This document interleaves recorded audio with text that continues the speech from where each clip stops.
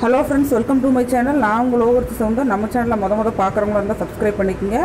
இன்றைக்கி என்ன வீடியோ பார்க்க போகிறோம்னா நாவல் பழத்தோட யூசஸ் என்னென்னு பார்க்க போகிறோம் இதில் பார்த்திங்கன்னா வந்து இலையிலிருந்து விதை மரப்பட்டை எல்லாமே பார்த்திங்கன்னா வந்து மருத்துவத்தில் யூஸ் ஆகுது. முக்கியமாக இது வந்து யூஸ் பண்ணுறது பார்த்திங்கன்னா சுகர் இருக்கிறவங்க நாவல் பழத்தை வந்து தொடர்ந்து சாப்பிட்டு வந்தால் சுகர் கண்ட்ரோலில் இருக்கும். அதுக்கு முன்னாடியிலேருந்தே நம்ம ஃபஸ்ட்லேருந்தே நாவல் பழம் சாப்பிட்டு வந்தால் சுகரே நமக்கு வராது. இதில் பார்த்திங்கன்னா கால்சியம் பாஸ்பரஸ் இரும்பு சத்து விட்டமின் பி விட்டமின் சி இந்த மாதிரி நிறையா சத்து இருக்குது இதோட விதையை வந்து பார்த்திங்கன்னா பொடி செஞ்சு யூஸ் பண்ணுவாங்க.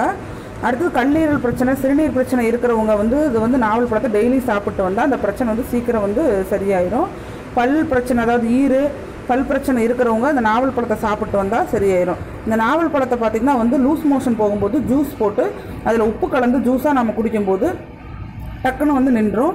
இலை இலையும் மரப்பட்டையும் பார்த்திங்கன்னா வந்து நீரில் கொதிக்க வச்சு குடிச்சிட்டு வந்துட்டு இருந்தோம்னா ரத்த அழுத்தம் பார்த்திங்கன்னா வந்து கட்டுப்பாட்டில் இருக்கும். நோய் எதிர்ப்பு சக்தி பார்த்திங்கன்னா இந்த நாவல் பழத்தில் ரொம்ப ரொம்ப அதிகமாக இருக்குது அப்புறம் சிறுநீர்கள் வந்து அதிகமாக இருக்கிறவங்க பார்த்திங்கன்னா நாவல் பழத்தோட விதையை வந்து பொடி செஞ்சு தயிரோடு சேர்த்து டெய்லி நம்ம சாப்பிட்டு வந்துட்டு இருந்தோம்னா அந்த சிறுநீர்கள் பார்த்திங்கன்னா வந்து சீக்கிரம் கரைஞ்சிரும்.